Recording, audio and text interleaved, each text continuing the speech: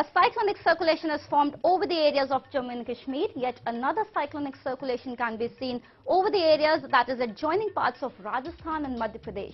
Yet another cyclonic circulation has formed over the areas of Odisha and its adjoining parts. Well, moving towards this satellite picture, convective clouds, that is heavy clouds, can be seen over the areas of Jammu Kashmir, Himachal Pradesh, Uttarakhand and few parts of northeastern states.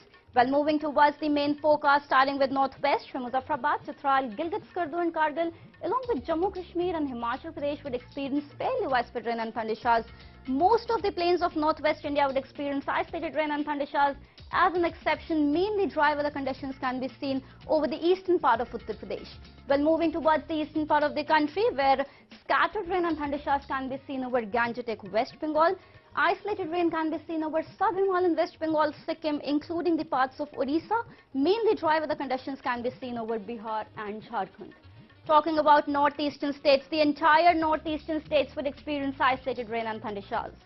Quickly moving down to south, where Andaman and Nicobar Islands would experience mainly dry weather conditions.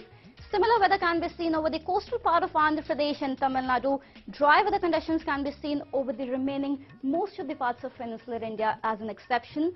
Isolated weather can be seen over the parts of Kerala and Lakshadweep. While heading towards west, where Konkan, Goa, Madhya Maharashtra, Marathwada, Gujarat, Rajasthan, Kutch would remain dry and similar weather conditions can be seen over the entire